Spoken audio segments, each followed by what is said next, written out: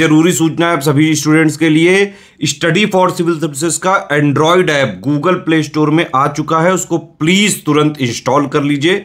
और अगर आप स्टडी फॉर सिविल सर्विसेज़ के सिर्फ़ ऐप से कोई भी कोर्स कोई भी पीडीएफ परचेज करते हैं तो उसमें अप्लाई कूपन अगर आप ज्ञान सर जो है, आप उसमें अप्लाई करते हैं, ये कूपन कोड है तो उसमें ट्वेंटी परसेंट फ़ीस तुरंत माफ़ हो जाएगी। मतलब ट्वेंटी परसेंट डिस्काउंट तुरंत उसमें लग जाएगा। ज्ञान सर लिखना है नॉर्मली ज्ञान सर स्मॉल लेटर में है, सब कुछ, कोई स्पेस नहीं, कोई कॉलम नहीं, सिर्फ़ ज्ञान sir. G Y A N S I R इस तरह से अगर कूपन कोड लगाते हैं आप ऐप में बाई करने से पहले जो अप्लाई कूपन वाले में आता है तो ट्वेंटी परसेंट का डिस्काउंट तुरंत मिलेगा। वीडियो देखिए। नमस्कार दोस्तों, एक बार फिर से आपका स्वागत है सी सेट प्रिपरेशन के इस यूट्यूब चैनल पर।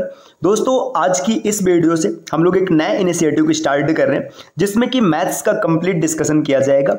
यह सीरीज़ सभी प्रकार के प्रतियोगी परीक्षाओं के लिए अत्यंत उपयोगी होने वाला है। आप किसी भी एग्ज़ाम की प्रिपरेशन कर रहे हैं, चाहे पीसीएस एग्ज़ाम की या फिर वनडे एग्ज़ाम की, यहाँ से आपको काफ़ी ज़्यादा सहायता मिलने वाली है। तो दोस्तों, वीडियो को लाइक ज़रूर कर दीजिएगा और जो फ्रेंड्स चैनल पर पहली बार विज़िट किए हैं, वो सब्सक्राइब करना ना भूलेंगे। तो चलिए स्टार्ट करते हैं आज हम लोग नंबर सिस्टम के से।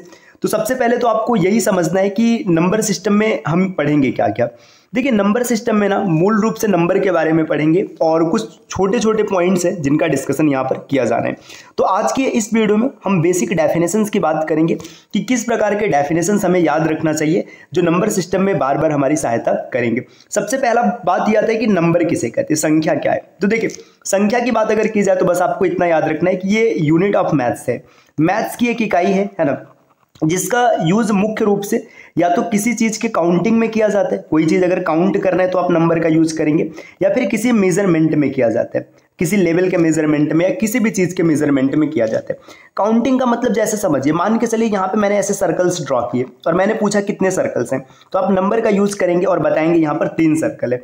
मेज़रमेंट जैसे मान के चलिए किसी आदमी की हाइट मापनी है है ना? अब यहाँ पे इसकी हाइट बतानी तो बिना नंबर का यूज़ किए इसकी हाइट को आप एग्जैक्ट नहीं बता पाएँगे। अगर किसी चीज़ का वेट बताना है आपको कि इसका वेट कितना है तो आप एक नंबर को यूज़ करेंगे, तभी आप इसके वेट को बता पाएँगे। तो उम्मीद है कि आपको नंबर के बारे में चीज़ें आसानी से क्लियर हो गई होंगी। नंबर यूनिट ऑफ़ मैथ है, जिसका यूज़ काउंटिंग और मेज़रमेंट में किया जाता है। अब दोस्तों नंबर्स को कई प्रकार से डिवाइड किया जा सकता है। यहाँ पे लिखा है टाइप्स ऑफ़ नंबर है ना? नंबर कितने प्रकार के होते हैं? ये जितने भी चीज़ें ये आपने छोटे क्लास में इससे पहले पढ़ रखा है। बस यहाँ पर चीज़ों को रिवाइज करने के लिए बताया जा रहा है। ठीक है नेचुरल नंबर इसको कहते हैं प्राकृतिक संख्या।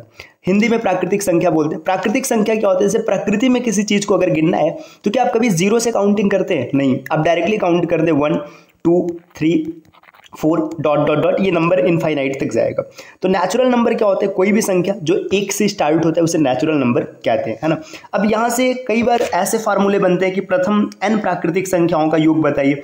मतलब sum of first N natural number तो इसका डायरेक्ट फार्मूला होता है एन ब्रैकेट में N plus one upon two ये प्रथम एन प्राकृतिक संख्याओं का योग होता है, इसको सीधा सीधा याद रखिएगा। कई बार औसत पूछ लिया जाता है तो औसत होता है N plus one upon two ये अभी आगे क्वेश्चन करेंगे तो हम लोग यहाँ से समझेंगे। बस इतना याद रखना नेचुरल नंबर कोई भी संख्या जो एक से स्टार्ट होता है उसे नेचुरल नंबर कहते हैं। प्रथम एन प्राकृतिक संख्या मतलब फ़र्स्ट एन नेचुरल नंबर का सम होता है एन ब्रैकेट में N plus one upon two और एवरेज की बात करेंगे तो N upon two N plus one upon two whole numbers की बात करेंगे तो जब नेचुरल नंबर के साथ ज़ीरो को ऐड कर दिया जाता है मतलब ज़ीरो वन टू थ्री ये होता है आपका होल नंबर जिसे कि पूर्ण संख्या हिंदी में कहते हैं। अगर प्रथम एन पूर्ण संख्याओं की योग की बात करेंगे तो एन ब्रैकेट में N minus one upon two होता है और एवरेज की बात करेंगे तो N minus one upon two होता है। अब इसी प्रकार आगे बढ़ेंगे इवन नंबर इवन का मतलब है सम संख्या। सम संख्या क्या होता है? आपने पीछे पढ़ा होगा, कोई भी संख्या जो दो से विभाजित होता है, उसे सम संख्या कहते हैं। आप इसे ऐसे भी याद रख सकते हैं कि कोई भी संख्या जिसका यूनिट डिजिट मतलब इकाई अंक ज़ीरो दो चार, छ या फिर आठ हो। इसे क्या कहते हैं? इसे कहते हैं इवन नंबर ठीक? अब इवन नंबर जैसे यहाँ पे आपने देखा कि प्रथम एन पूर्ण संख्या और प्राकृतिक संख्या का योग ये होता है। ऐसे इवन नंबर की बात करेंगे तो फार्मूला याद रख सकते हैं। एन ब्रैकेट में एन प्लस वन कभी भी आपको क्वेश्चन दे कि प्रथम इतने सम संख्याओं का योग बताइए, आप सीधा सीधा ये फार्मूला यूज़ कीजिएगा। और औसत की बात करेंगे तो औसत आप डायरेक्ट लिख सकते हैं एन प्लस वन इसी प्रकार दोस्तों, अब ऑड की बात करते हैं ऑड नंबर्स क्या होते हैं? तो कोई भी संख्या जो दो से विभाजित नहीं होता है, उसे विषम संख्या कहते हैं। या फिर आप इसे याद रख सकते हैं कि कोई भी संख्या जिसका इकाई अंक कितना होता है, या तो एक होगा, या तो तीन, या पाँच या सात और या नौ, इसे कहते हैं विषम संख्या। इसका योग होता है एन स्क्वायर और अगर औसत की बात करेंगे तो सीधा सीधा एन होता है। तो आप इसे याद रखिएगा, आसानी से कर पाएँगे। अगले स्लाइड पर आते हैं। अगले स्लाइड पे कुछ डेफिनेशन यहाँ पर और लिखे गए मतलब शब्द लिखे हैं जिनका डेफिनेशन हमें समझना है। सबसे पहले बात करते हैं प्राइम नंबर क्या होता है। प्राइम को हिंदी में कहते हैं अभाज्य संख्या। कोई भी ऐसी संख्या जो या तो एक से कटेगा या तो स्वयं से कटेगा, उसे अभाज्य संख्या कहते हैं। एक डेफिनेशन ये हो गया। दूसरा डेफिनेशन आप यहाँ से ऐसे याद रख सकते हैं कि कोई भी संख्या जिसके सिर्फ़ तीन फैक्टर होते हैं मतलब फैक्टर कितने होंगे? तीन फैक्टर होंगे। उसे हम हमेशा क्या कहेंगे? उसे कहेंगे प्राइम नंबर मतलब कि अभाज्य संख्या। देखिए, अभाज्य संख्या की बात करेंगे एक से लेकर सौ तक। यहाँ तक अभाज्य संख्या की कुल संख्या होती है पच्चीस। ये कई बार डायरेक्ट पेपर में क्वेश्चन बना है कि एक से सौ तक कितने अभाज्य संख्या? पच्चीस। एक से लेकर पचास तक में जो अभाज्य संख्याओं की संख्या है, यह है पंद्रह। और एक इक्यावन से लेकर सौ तक अभाज्य संख्याओं की बात करेंगे तो इनकी संख्या दस। आप इन दोनों को भी ऐड करके देख सकते हैं, पच्चीस आएगा। और यहाँ से एक पॉइंट याद रखिएगा, दो।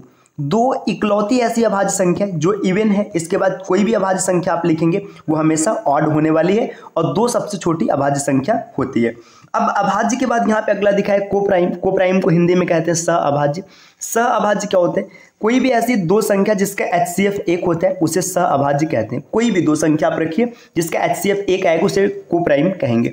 अब बात करते हैं ट्वाइन प्राइम क्या होता है। देखिए, जब प्राइम नंबर्स हम लोग लिखेंगे, जैसे यहाँ मैंने लिखा दो दो के बाद तीन, पाँच सात, फिर इसके बाद ग्यारह, तेरह सत्रह, उन्नीस तो ऐसी संख्या है ना, ऐसी प्राइम नंबर जिनके बीच का डिफरेंस दो होता है। जैसे आप यहाँ पर देख सकते देखिए ये डिफरेंस दो का है, फिर यहाँ पे डिफरेंस दो का है, यहाँ पे डिफरेंस दो का है। इनको कहते हैं ट्वाइन प्राइम एक से लेके सौ तक में अगर आप देखेंगे तो ट्वाइन प्राइम की संख्या सिर्फ़ आठ है, ये भी आपको याद रखना कंपोजिट नंबर क्या होता है? कोई भी संख्या जो भाज अभाज्य नहीं है, उसे भाज्य कहते हैं या फिर कंपोजिट कहते हैं।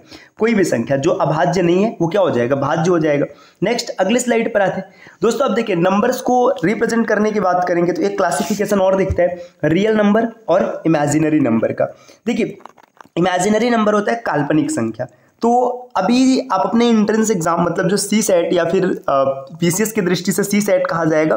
और अन्य जो वनडे एग्ज़ाम है, उसमें जितना भी मैथमेटिक्स आप पढ़ेंगे, उन सब में रियल नंबर्स की बात आएगी तो इमेजिनरी हमारे सिलेबस में नहीं है तो इसकी बात नहीं करते पीछे आपने जितने नंबर्स पढ़े हैं ना, सब रियल नंबर है। अब रियल नंबर को दो तरीके से लिखा जा सकता है।